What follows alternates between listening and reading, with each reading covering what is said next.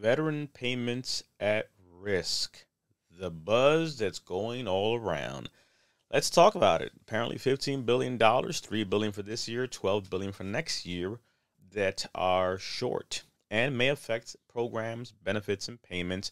People literally stopped at the point of payments because that's one of the best ways to get somebody's attention. So these things have been circulating. It is a very valid argument. So I just want to share some thoughts because the questions have been coming up. Military Tom, military.com uh, talks about the VA warns Congress that benefit payments are at risk due to projected $15 billion budget shortfall. $15 billion. No matter how you slice this, definitely something is not going according to plan, right? So let's see exactly what we're talking about. Some highlighted things. An increase in benefit claims driven by the PACT Act crazy concept could leave the VA benefits accounts of 2.9 billion short this year. Meanwhile, healthcare accounts could be nearly 12 billion short next year because of higher than expected staffing, prescription drug costs, among other factors. So, very first and foremost, just because someone filed a claim doesn't mean, oh, see exactly, here's the point. Negative. This is a process of how the wheels of government works. In a statement on Thursday, the VA said it's working with the White House and Congress to address the budget shortfalls in a way that doesn't harm veterans. So it's not like, oh my goodness, payments are stopping. They're not stopping. They're saying, hey, we are projecting a shortfall. We are spending more than we anticipated to do that. And regardless of who may have missed a thing or whatever, the point at hand is a lot of things are at play. We continue right now due in large part to the historic, there's a Spanish part, PACT Act, the VA is delivering more care and more benefits to veterans than ever before. So we're getting more veterans involved. When people say, oh, you're taking benefits from somebody else, no, you're not. Because guess what? If they need more, they go get more. This is how it works. I'll continue here. Uh, not only have your and this is now chairman Mike Bost who's at the top of the picture there which we've all seen all over the place here kind of scratching his head like you know how did you guys fool this right not only have your chief financial officers thrown out dollar amounts requested for many key accounts they've abandoned many of the estimates and projections that underpinned their budget this is not fiscal mismanagement it is strategic whiplash we'll cover it so $193 billion of benefits is what they expected to have used. Now, there's a process of how these things work.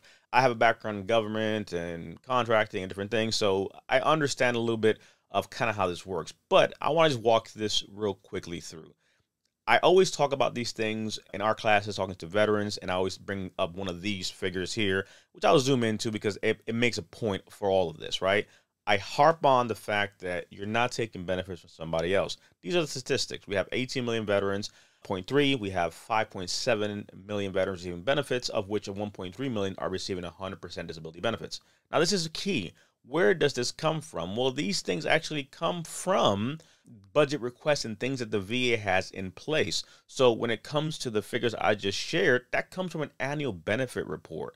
And this annual benefit report has all the statistics and numbers of everything VA related, right? This is a benefit report. But why would there be a benefit report? Because that benefit report actually is also tied into a budget submission.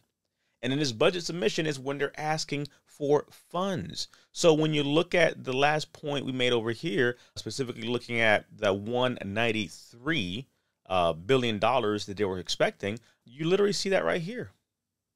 193, right? So they're requesting funds, but they're saying, hey, wait a second, this is not exactly going to cut it. So this is the March 2023 road up thing for 2024 fiscal year. Fast forward, same thing's going on now. They just put one forward and they're identifying, hey, we're going to be shorting kind of, uh, falling kind of short here for key expenditures. So I bring these things up because when we're having these conversations, again, another article, Federal News Network, VA says, chief says, increased outreach and utilization drove massive budget shortfalls.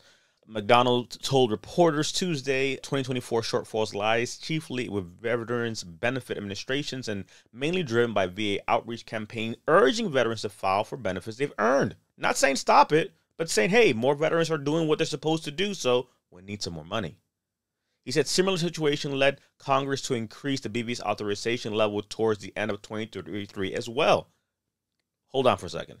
He said a similar situation led Congress to increase the BVA's authorized funding level towards the end of 2023 as well. Back to the previous documents, which means that before that, these things have happened already. This is the process that the government uses as a mechanism to be able to understand what's needed. And again, yes, definitely somebody messed up. You didn't project things, shortfall. I get it. Not covering a thing at all, right? We anticipate producing somewhere near uh, north of 2.5 million claims this year, but because we're performing and producing at such a high level, so the workload, etc., uh, we need to raise the authorized level one more time. Benefits paid under compensation and pension claims, as well as increased authorized utilization of readjustment benefits, including GI Bill, veteran readiness employment benefits as well. They have here a 27% increase in new enrollees from last year, so people are getting more care. Good thing. I kept calling, I kept telling Congress during the course of the year that we believe we had the funding we needed, but if we needed more, that we would come back. I also said I would not stop outreach and will continue to allow our local leaders to make strategic hiring decisions as they've done so, and we readjusted our full-time equivalent goals, etc. And other articles that are out here, similar things as well. Moral of the story is this this is the game of the government.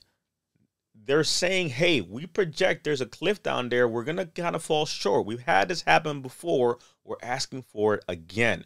And, I, and again, it's sensational news. It gets the click because when you see an article that says VA urges lawmakers to approve $15 billion to fund budget gap or risk delays and cut better veteran benefits and care or things like VA outreach utilization drove massive budget shortfalls, or saying things like Congress is being warned that benefit payments are at risk. Well, that's going to get your attention.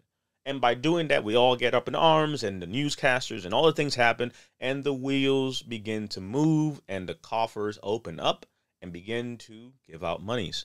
This is part of the game of government payments are not stopping overnight. They are aware that there is a shortfall. They didn't just wake up and say, oh crap, we didn't get paid. What happened here? Somebody missed a deadline or something. No, they are aware of these things. It hasn't it has happened before, as we saw even last year. So it's good that we're talking about this. It's good that we continue to seek out our benefits and what we're due, because guess what? At the end of the day, back to the statistics and numbers, if we understand what these numbers are and how many veterans are here, more veterans begin to look for their benefits. More transitioning service members begin to get the things they're due. And if the VA needs more shekels, guess what they'll do? They will go ahead and ask for that thing. So this is part of the game of government. Again, they will go ahead and, as it says here, they'll just request for some more. So yeah, for sure, there is some shortfall. For sure, people whose full-time job is to do these things, all the things, I got it. But sometimes, I'm just saying here, you know, because nobody's really watching this stuff right at this point of the video. But sometimes, if you want to get things to move a little bit faster, you kind of get the news involved. And then you get the emotions out there and you get these eye grabbing titles that get everybody in arms and everybody starts going crazy. And then constituents and so forth begin to pressure their elected leaders, and monies get found, and we move on. It always happens. Budgetary things, government shutdowns, blah, blah, blah. If we can find billions and billions of dollars to send to other countries, they'll find 3 billion for this year and the other 12 billion for next year. Again, don't sleep on it. For sure, make noise about it. But things are not stopping, so do not take your already rated anxiety to the next level. This is DP with VNCC. If you stuck around this long, I appreciate you. We'll continue talking about this and monitoring it as it comes up. Facts and numbers. Gotta love it. The business of government.